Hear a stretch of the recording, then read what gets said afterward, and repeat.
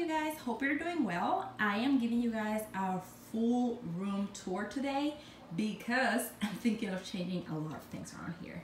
So these are the two shelves that I used to store giveaway things. This is the marble collection and my Hogwarts robes, Gryffindor scarf. You guys have seen my Harry Potter wall art. I have the couch right here. That map is from BoxLunch. This is the invisibility cloak. This is the pillow cover from Potter Martin. I need to unbox that for you guys. I'm going to be doing a comparison video for um, the Noble Collection, the Potter Martin, and the Hallmark Golden Egg. Um, I have some journals I want to show you guys. So as you can see, I have a couple of videos that I wanted to do for you guys, but my brother moved out recently and he used to live down here. Um, and I want to change things around, meaning that this room will not be like this anymore soon.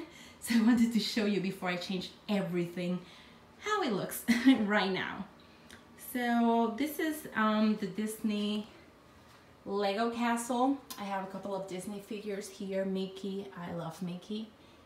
Um, so gonna be changing a lot of things. And I figured let me show my people how the room looks right now. So when I show you the after, you knew what was the before.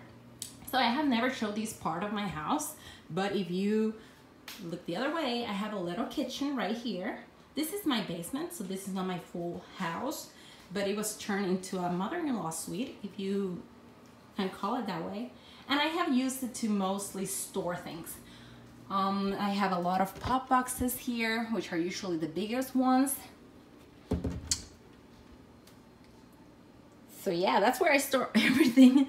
the little pop, um, the normal, the regular size pop boxes are usually on big black beans. I love this lamp here. I have huge dreams about where I'm gonna put this lamp. It's so beautiful. Uh, this is the bathroom.